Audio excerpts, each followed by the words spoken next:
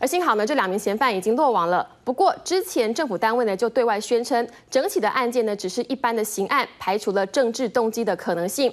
不过这番话呢也被立委批评，说这个处理态度实在太轻率。立委甚至质疑，国内的治安已经亮起了红灯，要内政部长李鸿源拿出办法来。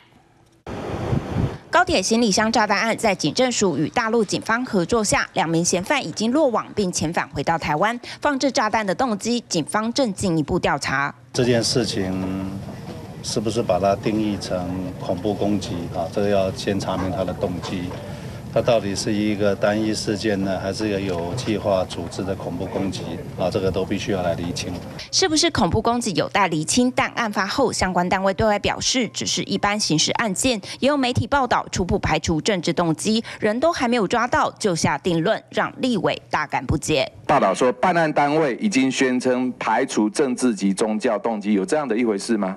这个我不清楚，因为你不清楚，因为这侦侦查过程。好，当然今天警政署没有来备询啦，我觉得这样是不恰当的。是，你应该整个把整个案情都查明清楚以后，再来对外说明。你还认为这样子的治安是持续稳定的好吗？